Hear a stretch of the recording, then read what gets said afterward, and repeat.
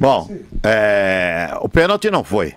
O pênalti foi mais uma invenção. Aliás, eu vou dizer uma coisa aqui séria, não porque é São Bento, eu vou, vou defender o interior, de onde eu sou. Né?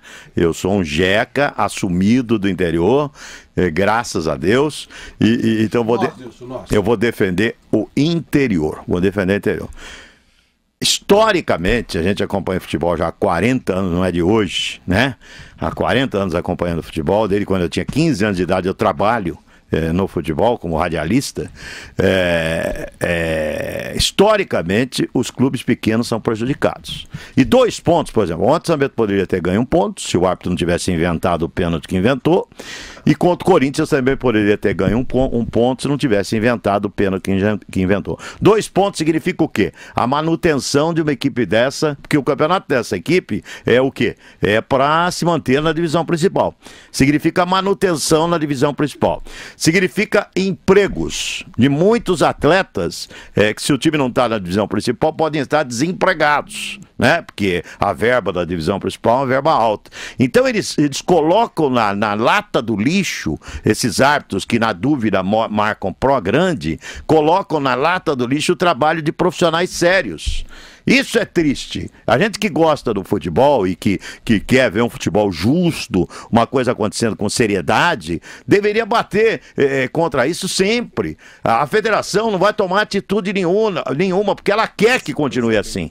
A verdade é essa. Qual é o interesse da federação? Que os grandes cheguem à fase decisiva eh, do campeonato. Não estou dizendo que exista ajuda, nada disso aí para que, que, que, as, que as equipes cheguem, mas existe esse interesse. Então isso é muito sério. A gente leva às vezes na brincadeira, na piada, mas é sério demais. É emprego, são famílias, Sabe, são famílias que estão aí, o rapaz treina. O Vampeta, que for jogador de bola, sabe disso. O cara trabalha a semana inteira, dá um duro a semana inteira. A vida de atleta profissional. Pô, tá deixa eu só concluir. Da CUT, não, não, é rápido. Ah, Dois tá minutos só termina. Dois acha. minutos. A vida de atleta profissional é uma coisa muito séria. Então eles têm famílias, têm manutenção de família, tem um monte de coisa em jogo, treinam uma barbaridade. Hoje exige-se um profissionalismo enorme. E não é um, um cara que vê uma cor de camisa, que o Flávio falou, tem toda razão. Se é do outro lado, não vai dar o pênalti nunca. Então, se você vê a cor de camisa que interessa, eu dou o pênalti. A cor de camisa que não interessa, eu não dou o pênalti. Então, meu amigo, se vocês querem, estão dizendo que vai tanto profissionalizar as entidades aí, CBF, federação,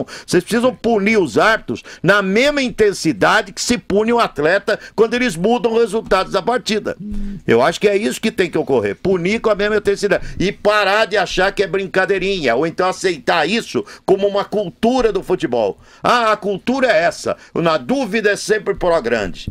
Ah, o São Paulo não precisa disso. Entendi. São Paulo é muito mais time. São Paulo é muito mais time que o São Bento. O São Paulo tem é, todas as condições de ganhar do São Bento a hora que quiser e não precisa de ajuda de arbitragem. E não tem nada a ver com isso o São Paulo Perfeito. também. O problema é a, a inoperância dos homens que dirigem o futebol, vendo erros aí crassos que acabam mexendo com muitas famílias. Que o esporte não é só 22 caras correndo atrás da bola, é muito mais amplo do que isso.